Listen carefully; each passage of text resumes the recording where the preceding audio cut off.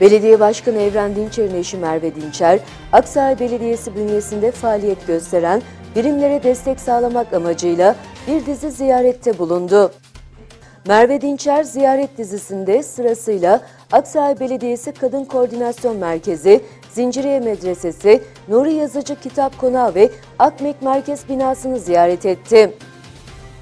Başkan Dinçer'in eşi Merve Dinçer, Kadın Koordinasyon Merkezi'nde sosyal sorumluluk projesiyle toplanan kıyafet bağışı etkinliği kapsamında yürütülen çalışmalar hakkında bilgi aldı.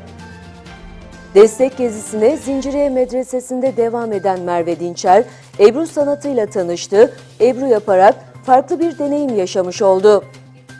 Çanta yapımı atölyesinde maharetli hanımlarla bir araya geldi. Nuri Yazıcı Kitap Konağı'nı ziyaret etti. Akmek Merkez binasında çeşitli branşlarda açılan hobi ve meslek edindirme kurslarında ortaya çıkan el emeği, göz nuru ürünleri inceledi. Kursiyerlerle sohbet etti.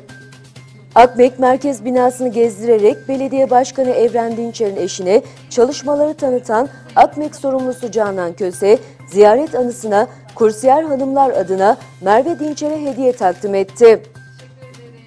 Merve Dinçer'in Aksaray Belediyesi bünyesinde faaliyet gösteren birimlere destek sağlamak amacıyla gerçekleştirdiği Nezaket Ziyareti dizisi hatıra fotoğrafı çekimiyle son buldu.